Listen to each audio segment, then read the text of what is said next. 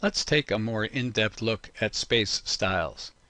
I've created several space objects already, and I'll use one of these to review the space style properties. Selecting a space object, from the Space tab General panel, I'll pick the Edit Style tool, which opens the Space Style Properties dialog box. Beginning on the General tab, we have the name of the style in the upper left-hand corner. On the right-hand side, we have the Keynote option. This allows us to link this style to the Keynote annotation symbol. We may use either a CSI number or the text description listed below that. We may add notes to the space. We may also have property sets. The next tab, Design Rules, lists space names at the top.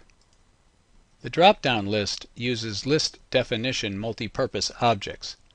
List definitions are created in the Style Manager dialog box.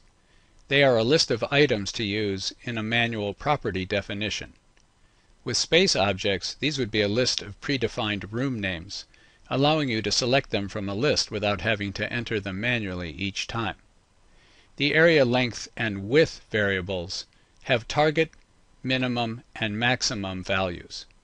You may define a target area, length, and width for spaces inserted with a specific style.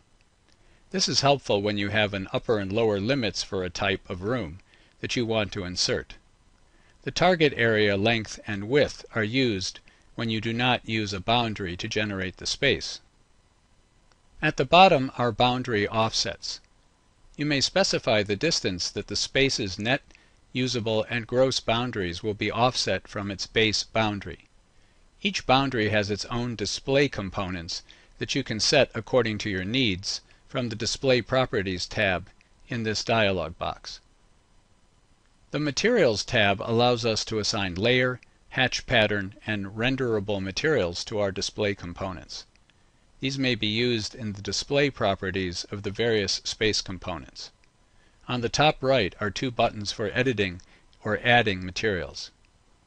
Using a material for a component's display property allows us to use the same material across multiple space styles. Any change to that material style, such as a hatch pattern, color, or finish, updates all the space styles using it. The Classifications tab allows inclusion or exclusion in schedules based on the space styles classification. Classifications may also be used for display purposes.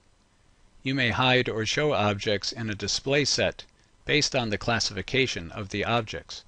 For example, if you classify objects by construction status, such as new, existing, or demo, you may exclude objects with the demo classification from the display set on the Display Options tab.